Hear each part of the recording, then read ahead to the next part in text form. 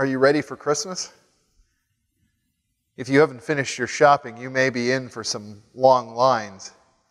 Christmas is always one of those times when we expect things to be nice, peaceful, tranquil. When we take some time off from the way we normally do life and things should slow down a little bit. But if we're really honest with ourselves, oftentimes we find Christmas to be a time of stress. We have to go shopping and get all the stuff and make sure we've bought presents for every person and maybe have to clean up the house because we're having people over. Not this year, I hope. And we have to cook that perfect dinner and we have to pay for all the presents that we got.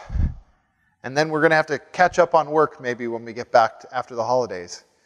And so, despite the fact that we have these grand expectations for Christmas, oftentimes our experience falls short. But if we look at the Christmas story in the Bible, we understand that even the first Christmas was not this beautiful moment of peace and tranquility that we often imagine it. It is a time of great disruption for the people involved. It starts with the visit of an angel to Mary to tell her that she is going to be the mother of the promised king, the Messiah who is going to deliver Israel from its sins.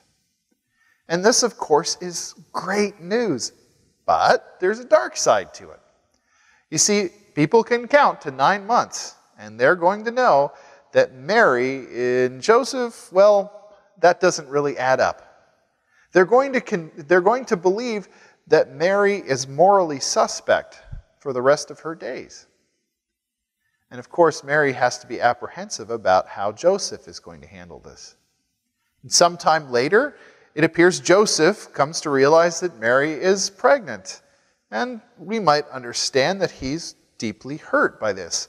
They're an engaged couple, and it seems that she's been unfaithful to him. As he contemplates breaking off the engagement, an angel appears to him and says, No, this is actually God's work.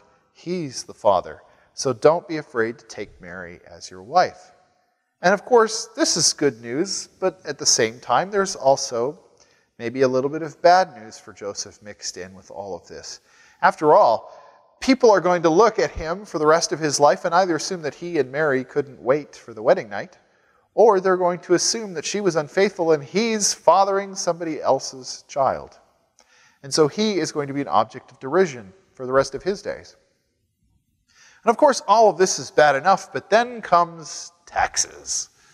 Yes, they're, they're called to go and register in Bethlehem so that Caesar can squeeze every little bit of tax out of them. And so Joseph has to take Mary along with him because she's going to give birth while they're there. And so they have to undertake a long journey, 150 kilometers, through open country that's hot in the daytime and cold at night. There's danger from wild animals and danger from bandits, and it's not nice, even flat tr- uh, land. It's all up and down and up and down and up and down. Oh, when they finally get there, there's no room for them. And so baby Jesus is born with the animals. And then they finally seem to catch a break. Along come magi from the east, and they give presents of gold and incense and myrrh. But of course, they had to stop along the way and tell King Herod, the psychopathic, super paranoid king who killed his own sons to ward off a threat to the throne and who has absolutely no compunction about killing babies to do the same. And so they have to flee for their lives. And they go, and a lot of scholars believe they might have gone to Alexandria, where uh, major portion of the city was Jewish. Well, if so, the 150 mile journey from Nazareth to Bethlehem pales in comparison. Over the most direct possible way, it's about 500 kilometers to get to Alexandria. And when they finally get there, after a while, they're told that Herod has died. And they come back. Now, they seem to be intent on settling in Judea, the southern part of the country, where Bethlehem is. But when they get there, they realize that there was a change of plans. Herod had originally been intending to have one of his sons, who was an able administrator, take over the entire country. But at the last minute, he broke the country up into three pieces. And Judea is now under the rule of his cruel and incompetent son, Archelaus. Joseph is afraid that if he goes back to Judea, Archelaus might pick up where Herod had left off and might try and kill them, and so he has to go into hiding.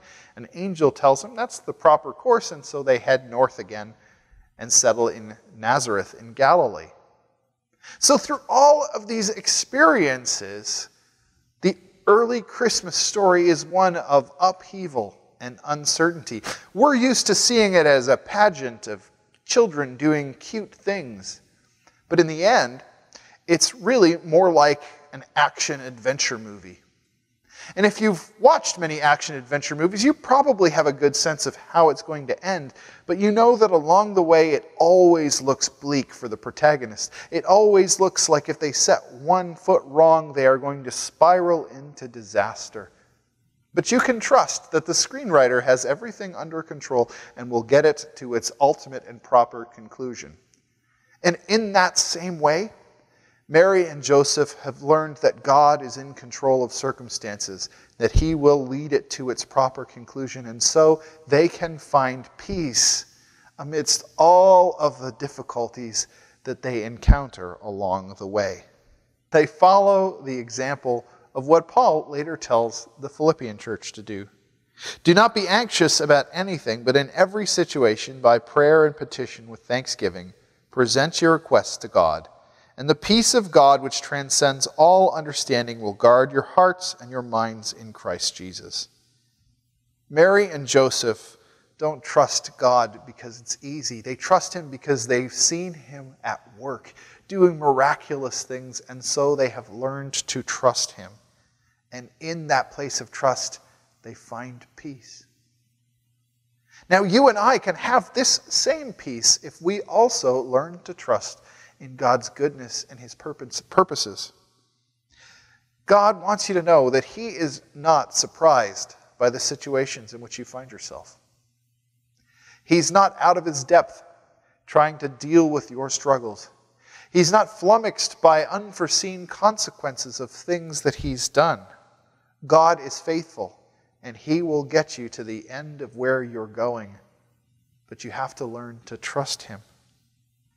We must discipline ourselves.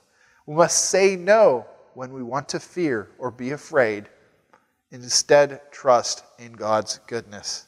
And when we learn to instinctively trust Him, to know He is good and He is able to take us where He wants us to go, that we can find peace.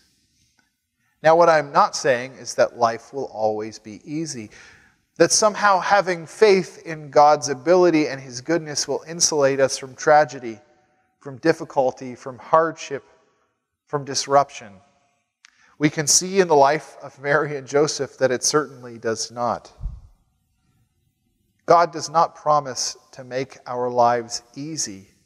Instead, He promises us that nothing will separate us from His love. Paul, in his letter to the Romans, talks about how even when Christians are suffering difficult things, even when things look bleak, that we can have confidence in God's love and in His ability to bring us to its right conclusion. In Romans 8, he says, Who shall separate us from the love of Christ? Shall trouble or hardship or persecution or famine or nakedness or danger or sword? No. In all of these things, we are more than conquerors through him who loved us. For I'm convinced that neither death nor life, neither angels nor demons, neither the present nor the future nor any power, neither height nor depth nor anything else in all of creation will be able to separate us from the love of God that is in Christ Jesus our Lord. Our lives aren't about avoiding hardship. They're about finding God's victory in the midst of that hardship. God's love holds us firmly, if rarely comfortably. If we expect a smooth ride, we're going to be disappointed. We are going to feel like God has let us down or abandoned us.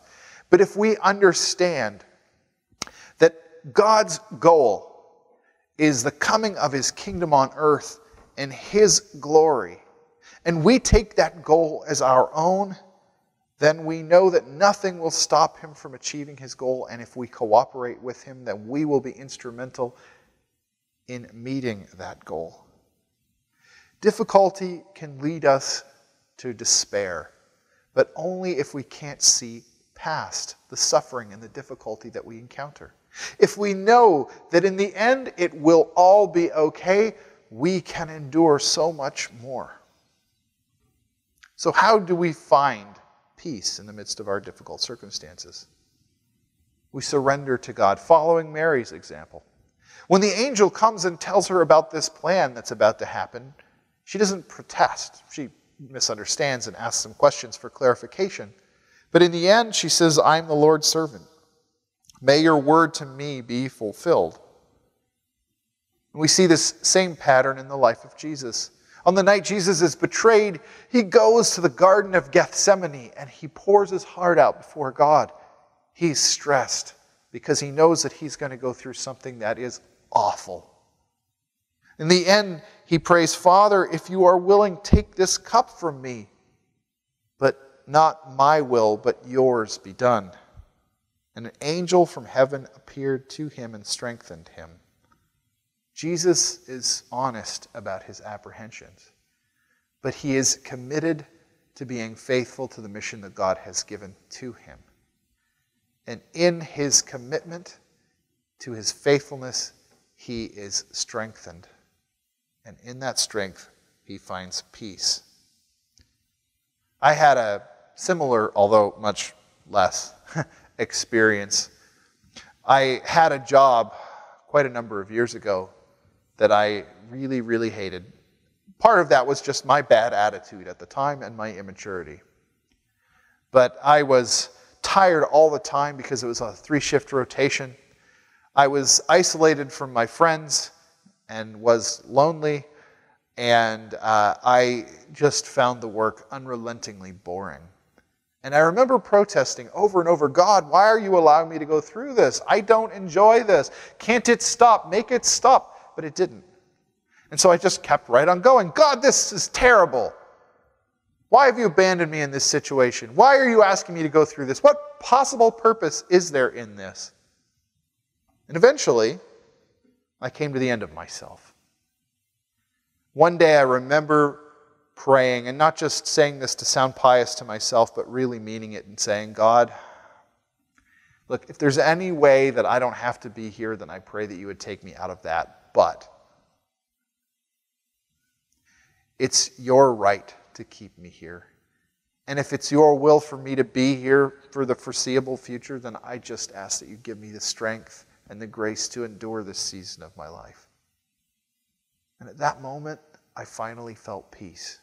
I felt like no matter what happens, I'm in God's hands and I can trust Him. Now, as it happened, just a couple of weeks later, I was given a job offer for a job that was a much better fit for me in terms of my interests and my skill set. And so I was able to leave that job. That's not to say that if we simply submit to God in the midst of our trials, that God will take those trials away.